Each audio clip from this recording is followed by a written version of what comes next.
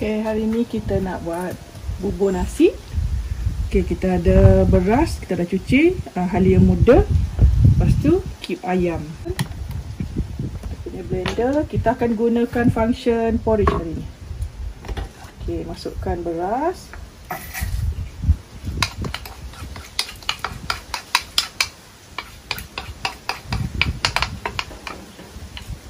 Yang ni cube ayam no yang tak ada MSG.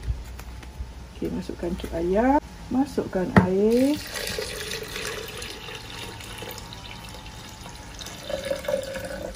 Okey, kita masukkan 800 ml. Tutup.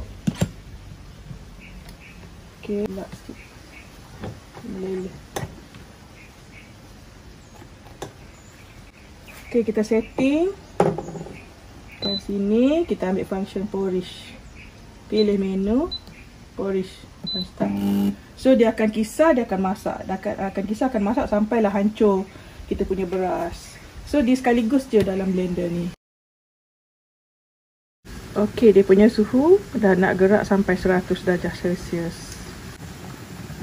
Dia punya timing dia belum start tapi uh, air tu dah menggelegak dah. Okey, kita punya timer dah bergerak.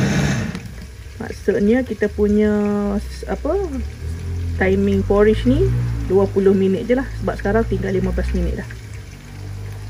Okey, kita punya bubur ada lagi 8 minit. Kita nak try buka, nak try rasa macam mana.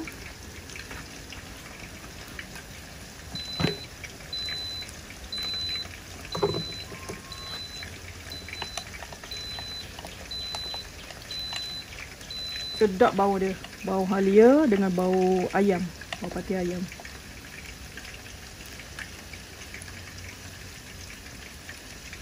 Bismillahirrahmanirrahim. Hmm, dah ada rasa dah. Kalau nak masin lagi boleh tambah ni. Okey, bila kita tutup balik, dia punya function timer akan uh, jadi normal balik. Tu tak payah setting balik dah.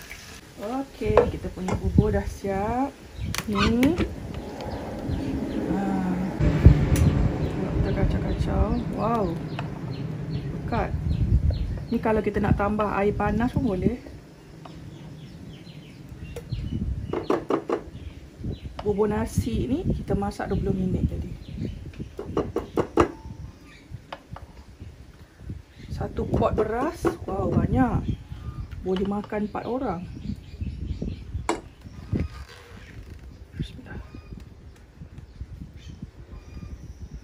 Saya akan campurkan air panas dalam ni.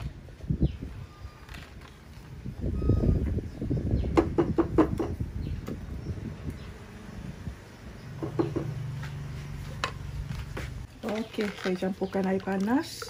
Satu cawan air panas dalam ni. Kita godak-godak.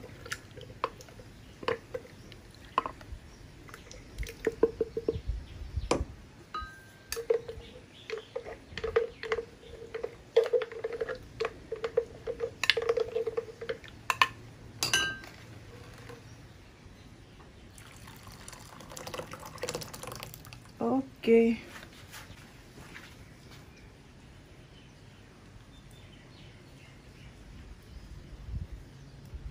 Okey, kita punya bubur nasi.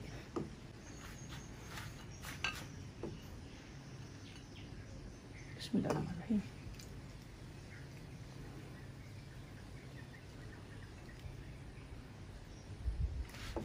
Kita tabur daun sup.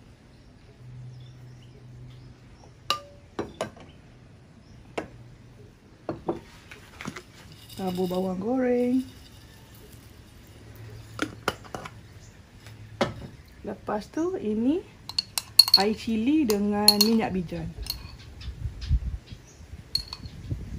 Ha, kalau suka pedas boleh lebihkan.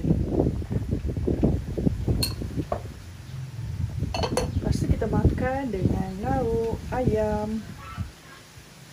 Ha. Dah siap.